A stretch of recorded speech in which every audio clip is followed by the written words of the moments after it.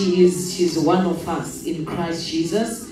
And she said, Can I just come and talk to my brothers and sisters in the Lord about the book that I wrote, which is um, from the view of a preacher's kid. And she's here to promote her book. So I just want us to hear her and also to support her. I'm saying this because as the body, we must support each other. And that's what I believe.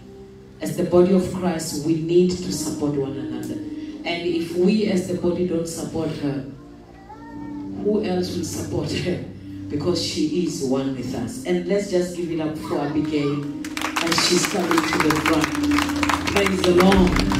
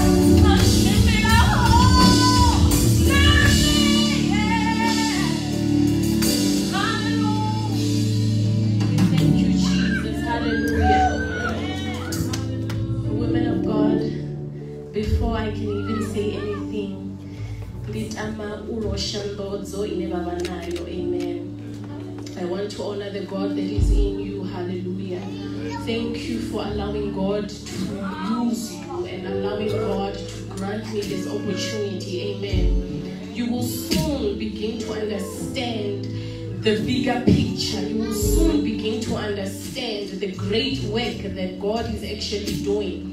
It may seem small. The word of God says that God rejoices to see the work begin. Ah, because small as it may be, everything big begins with a small seed. God going to move you, He's going to use you. Rayendere loko.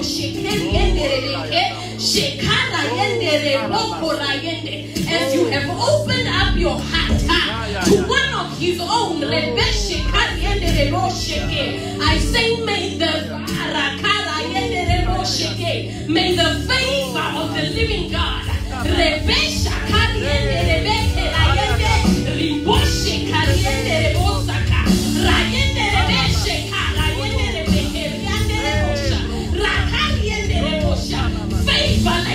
like never before in your ministry, oh, in everything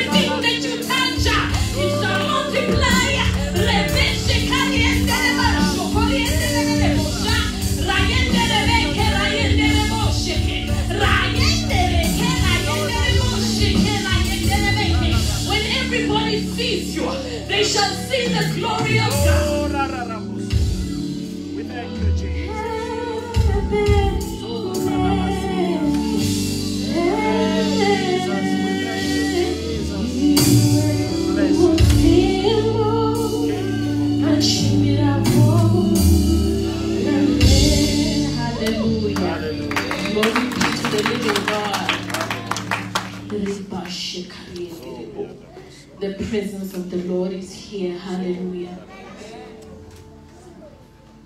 I am fully Venda. I just can't speak it. fluently. I can't speak it to save my life. Hallelujah. So allow me to, to continue in English. I am the daughter of the late pastor Aitonindwa Moses Munyai and Louisa Munyai. Um, they were the pastors of a church by the name of the Citadel Christian Church. Hallelujah. In Louis Trichardt. Um, growing up as a preacher's kid, you don't have a choice but to serve God. You, you are born into the system. You are born into this kind of an environment. You know the scriptures, you know the songs, you know the rhythm, you know the pattern, you know the times, you know the language, you know the jargon. You know everything except for Christ Himself. I knew it all. I knew how to say it. I knew how to sing it. I knew how to play it. I knew how to dance it. I knew how to look like I was walking the talk. But I didn't know Christ. Hallelujah. If you want to talk about having a child out of wedlock, I've been there. If you want to talk about losing both of your parents at a young age, I've been there. If you want to talk about being angry at God, I've been there. If you want to talk about rebellion, I've been there. Whatever you want to talk about, God took me through it. If you want to talk about being homeless, I've been there. If you want to talk about starving, I've been there. If you want to talk about whatever you want to talk about, I've been there. And I was angry at God because at such a young age, I lost my parents. At such a young age, I, I, I had to go through life alone. I had to bear the guilt, the shame, the judgment. Because you, as a community, you inflict so much pressure on us as the pastor's children. You want us to be perfect. We are not perfect. And so I was angry. Imagine a young teenager without leadership, without guidance. we are only two siblings, my brother and I. And when my parents passed away, it was just the two of us left. Now you can imagine what happens in such a scenario. There are no relatives close by. There is nobody. People will talk. They'll say, no, we'll be there for you. But nobody was there. So what happens? You are left at the mercy of the world. no leadership, no guidance. There's nobody to tell you to come home. But by the mercy and the special grace of God, here I am today standing before you, holding evidence that God lives, holding evidence that the prayers of my parents did not fall to the ground. You see, parents, when you are praying, your prayers cover your children your life cycle. When you are praying, your prayers carry you further than you can ever understand. That is why prayer is so underrated. When the word of God says pray without ceasing, there is a reason. There will be a time where you will not be able to open a word or utter anything. But your prayers will continue to carry you. Today, I understand why I had to go through everything. Today, I understand why my life had to be so difficult. Even today, I still get phone calls with people amazed that I am still alive. Because as per the difficulties I have been through, I should have been dead. But Mercy said no. He said, I want to use you in my kingdom, not just to counsel other children, not just to be a motivational speaker, but to be a minister of my word. That everywhere you go, tell them about me. Tell them that I am real and I exist. Not as the Christ that your father had introduced you to, but as the Christ that I am to you personally. Because those two are not the same.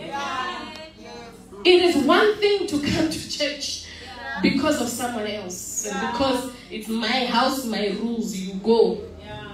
And when you is a choice to get up and to bow and to say, ah. Abba, Father, ah. I submit to you. People have asked me, who can read your book?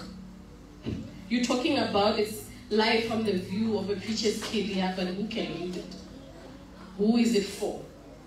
And my book is none, it's nothing like anything you've ever seen. It's deliberately seven chapters For those who walk in the spirit, you know what the number of seven represents completeness. It's seven chapters, seven different books, seven editions. And in each one, you will find the story of life. And when I say life, I leave no stone unturned. From both the view of a person who knows God from a distance and who, who doesn't even really know what it is to be a Christian to somebody who walks with God every single day. And you get to see the difference between life from both of these angles because it's not the same. I started writing this book in 2006, so you can imagine how long I've been writing. And you can imagine the maturity and understanding and growth that you must go through as you are reading each and every chapter. At first, I thought I'm just a writer. I didn't think I'd ever publish a book. So I just wrote sort of to um, express myself, you know. I was angry at God. Um, I'll give you a good example. One of the ladies, she was giving a testimony. And she spoke about how she said to God she was tired because she had been praying and God didn't answer. you pray.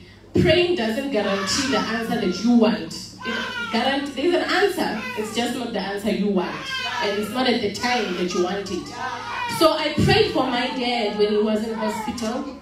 And my prayer was a little bit more sentences than yours because I said, God, my father is a pastor, he's a principal, he's the, uh, you know, he's a pillar of a community.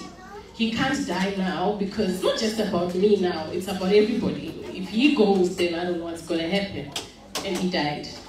Then I became furious because the recipe says you take faith, you add prayer, you will get. I didn't get. So I was very angry at God. So you can imagine the mindset of someone writing from an angry point of view, where I say maybe this God doesn't even exist. Has anyone seen him? No. Not physically, anyways. But I grow as I begin to understand him. Hallelujah. There's a lot that I can say. But the biggest thing that I feel is, is what God uses me for is I have learned more than anything that when God begins to speak to us as his children, it's like an outside voice. It's like somebody else talking to you, right? We know about this when we read in the book of um, Samuel. It sounds like an outside voice. But as you grow and you become more and more one with God, his voice is in you. You, you don't have to hear it from anyone else. It's deposited directly into your spirit. And that is the one thing that I have seen God doing. Woman of God, I have seen God do things in my life that I cannot put into words.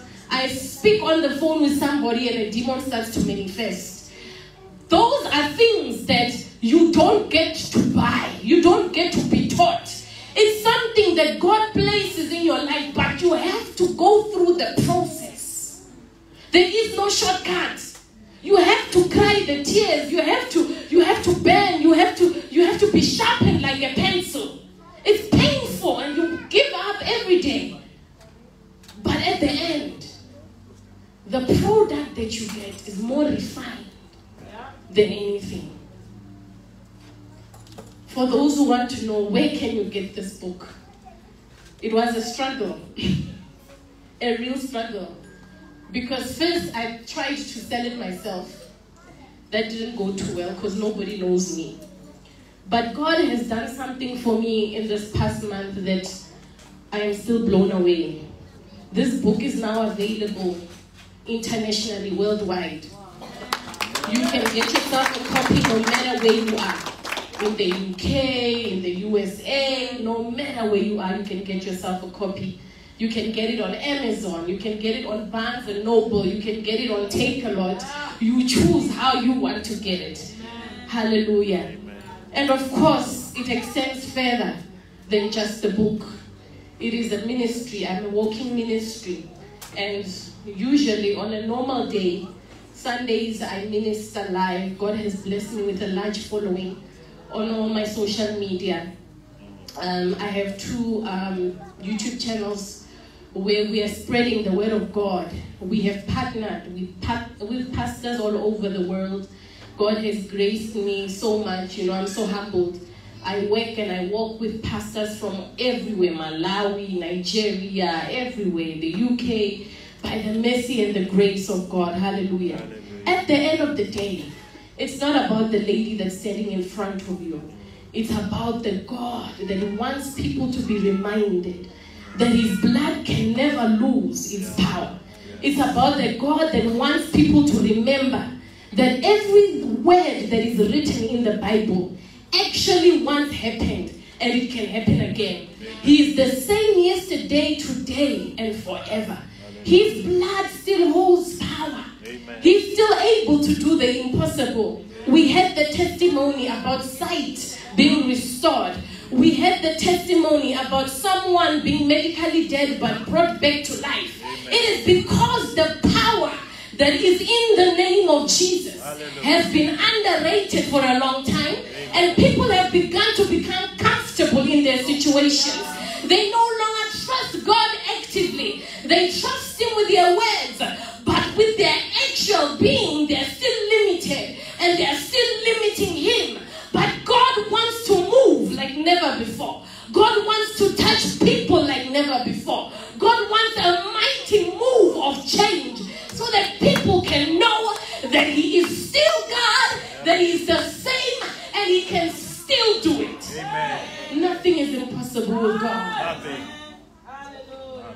Praise the name of the living God. Nothing is impossible. Nothing. Is impossible with God. I see some of you have begun to lose faith. You are saying, Lord, you had promised, but now it's already December. Are you still going to do it? There's only a few weeks left. God says, Don't limit me. Yeah. I am able to do. You don't know my time. You don't know my plan. You don't know my reasoning. Yeah. But nothing is impossible with this God. Hallelujah. Don't you dare lose faith in Him. Yeah. Don't you dare lose faith. He will do it. In fact, He is already doing it. Hallelujah. Trust in Him. Amen. Trust in Him. Trust in Him. Hallelujah. Trust Him. Hallelujah. Not just with your words. Hallelujah. Trust this God. Hallelujah. Trust Him with everything that is within you. Trust Him. He is faithful. Hallelujah. We thank you. I thank you so much for this opportunity, woman of God. May you forever be blessed. Thank you, Jesus. Udiva, enda. Udiva.